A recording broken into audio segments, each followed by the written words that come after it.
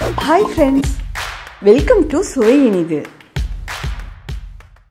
இன்னைக்கு நம்ம பார்க்க போற ரெசிபி உருளைக்கிழங்கு வறுவல். இது நார்மலா நம்ம பண்ற உருளைக்கிழங்கு வறுவல் மாதிரி இல்லாம ரெஸ்டாரண்ட் ஸ்டைல்ல ஒரு சூப்பரான ஸ்டார்டர் நல்ல கெட்டி தயிர்ல ஹாஃப் சுகர் மட்டும் சேர்த்து அதுல இதை லைட்டா தொட்டு சாப்பிட்டீங்கன்னா அவ்வளவு அருமையா இருக்கும். எல்லா டிஷ்ஷுக்குமே இது செம காம்பினேஷன் பண்ணி வச்சீங்கன்னா நிமிஷத்துல காலி ஆயிடும் இத பண்றதும் ரொம்ப ஈஸி வாங்க எப்படி பண்றதுன்னு பார்க்கலாம். இந்த சாஸ் பேன்ல நான் அஞ்சு உருளைக்கிழங்க நல்லா கழுவி எடுத்து வச்சிருக்கேன். இது எவ்வளவு பண்ணாலும் பத்தாது. அதனால நான் நல்ல பெரிய சைஸாவே எடுத்திருக்கேன். இது முங்குற அளவுக்கு தண்ணியை ஊத்தி ஸ்டவ்ல வச்சிடலாம். இது வேகிறதுக்குள்ள நம்ம மசாலாவை ரெடி பண்ணிடலாம்.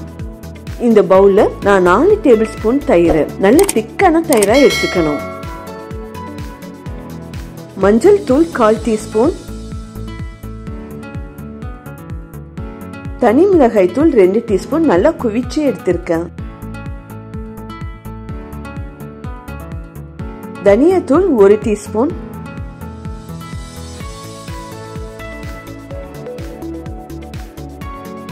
கரம் மசாலா கால் டீஸ்பூன்.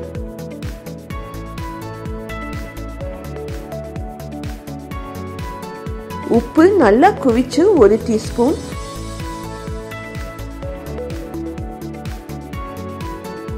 அரை டீஸ்பூன் சுகர்.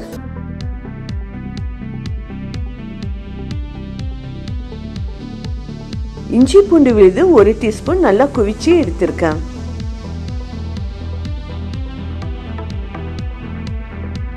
இதை நல்லா மிக்ஸ் பண்ணிக்கலாம். நம்ம இதில் போட்டிருக்கிற சுகர் வந்து இதில் இருக்கிற உப்பு புளிப்பு காரம் எல்லாத்தையும் நல்லா பேலன்ஸ் பண்ணி கொடுக்கும். பேஸ்ட் ரொம்ப திக்கா வந்ததுன்னா ஒரு டீஸ்பூன் இல்லாட்டி ரெண்டு டீஸ்பூன் தேவைக்கேற்ற மாதிரி தண்ணி சேர்த்துக்கோங்க. இந்த மசாலா இது மாதிரி கொஞ்சம் திக்கா இருக்கணும். உருளைக்கிழங்கு வெந்துட்டுக்கு வெந்துச்சான்னு கத்தியை வச்சு செக் பண்ணிக்கலாம். கடைசி வரைக்கும் நைஃப் போகுது ஸோ ஆஃப் பண்ணிடலாம். உருளைக்கிழங்க ஒரு பிளேட்டுக்கு மாற்றிடலாம் தோலை பீல் பண்ண வேண்டாம். இதை ரெண்டா கட் பண்ணிக்கலாம். இதை திரும்ப ரெண்டா கட் பண்ணிட்டு இது மாதிரி பீஸாக போட்டுக்கோங்க.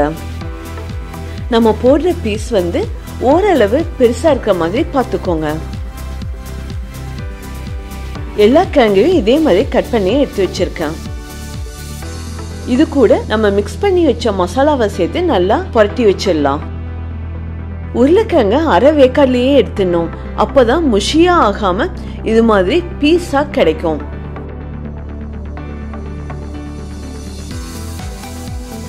மசாலா பொருத்தினதுக்கு அப்புறம் இது டென் மினிட்ஸ் மேரினேட் ஆட்டும் நான் இந்த கடாயில் ரெண்டு டேபிள் ஸ்பூன் எண்ணெய் ஊற்றிருக்கேன் நம்ம வைக்கிற கடாயோட பேஸ் நல்லா அகலமாக இருக்கணும். அப்போ தான் கிளறதுக்கு நல்லா இருக்கும். எண்ணெய் நல்லா சூடானதும் நம்ம மசாலா புரட்டின கிழங்க இதில் மெதுவாக சேர்த்துட்டு உருளைக்கிழங்குல ஆயில் நல்லா கோட்டார மாதிரி புரட்டி விடுங்க.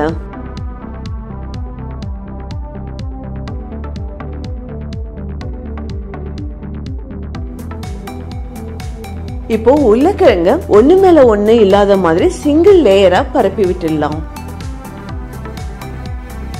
உருளைக்கிழங்க அடிக்கடி கிளறக்கூடாது. இப்போ ஃப்ளேம லோயர் மீடியம்க்கு கொண்டு வந்துடலாம். ஒரு த்ரீ மினிட்ஸ் கழிச்சு இதை நல்லா கிளறி விட்டுட்டு நான் ஈவனா பரப்பி விட்டுருக்கேன்.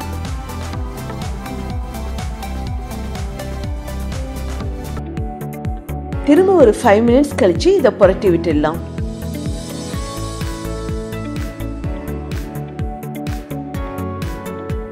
கலர் அட்டகாசமா இருக்கு பாருங்க.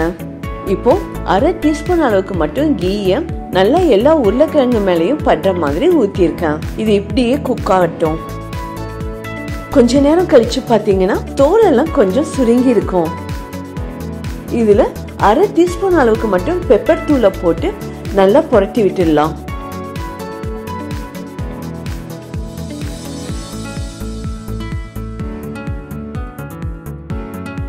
கடைசியா ஒரு டீஸ்பூன் கசூரி மேத்தியும் நல்ல கையிலேயே க்ரஷ் பண்ணி மேல போட்டு விட்டு புரட்டி விட்டுடுங்க.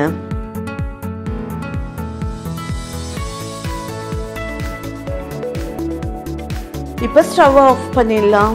சூப்பரான உருளை வறுவல் ரெடி உருளைக்கிழங்கு அந்த தோலோட புளிப்பு காரம் கசூரி மேத்தியோட அந்த ஸ்மெல் எல்லாம் சேர்ந்து பேக் பண்ணி எடுத்த மாதிரியே இருக்கும். சொல்ல மறந்துட்டேனே. இந்த மெரினேட் பண்ண உருளைக்கிழங்க ஒரு ட்ரேல வச்சு அவன்ல பேக் பண்ணி எடுத்தாலும் ரொம்ப எம்மியா இருக்கும். கண்டிப்பா ட்ரை பண்ணிட்டு உங்க கமெண்ட்ஸ சொல்லுங்க. அப்புறம் என்னங்க? ஆசையா சமைச்சு அன்பா பரிமாற சுவை இனிதுங்க.